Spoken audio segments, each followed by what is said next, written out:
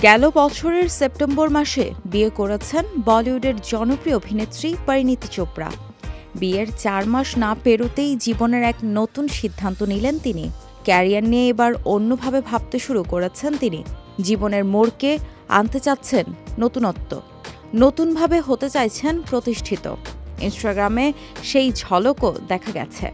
একজন সংগীত শিল্পী হিসেবে নিজেকে জানান দিতে চান তিনি। হতে চান প্রতিষ্ঠিত। এ নিয়ে কর্মযজ্ঞ শুরু করে দিয়েছেন তিনি। তার স্টুডিওর নির্মাণ কাজও প্রায় শেষের দিকে।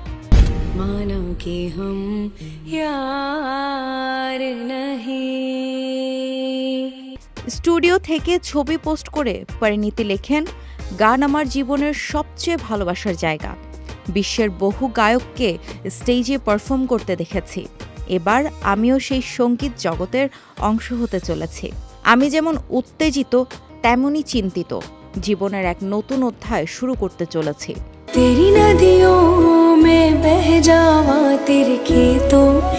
জানা যায় পরিণীতি চোপড়া শ্রদ্ধা কাপুর আলিয়া ভাট মেধা শঙ্কর সহ বলিউড পাড়ার অনেক নায়িকাই সঙ্গীতের তামিল নিয়েছেন এ কথা শোনা যায়। আলিয়া যদিও পুরোপুরি মন দিয়েছেন নিজের অভিনয়ে। একটি ছবিতে অবশ্য গানও গিয়েছিলেন। অন্যদিকে শ্রদ্ধার গানও খুব একটা শোনা যায় না। টুয়েলভ ফেইল দিয়ে ব্যাপক আলোচনায় আসা মেধা শঙ্কর তো তার সুর দিয়ে ভক্তদের মায়ায় বেঁধে ফেলেছেন।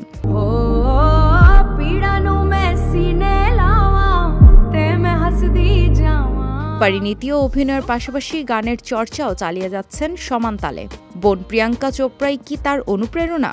তেমনটাই হতে পারে। কারণ খুব শীঘ্রই নিজস্ব গানের অ্যালবাম তৈরি করতে চলেছেন নায়িকা। সে কথা ঘোষণা করেছেন অভিনেত্রী।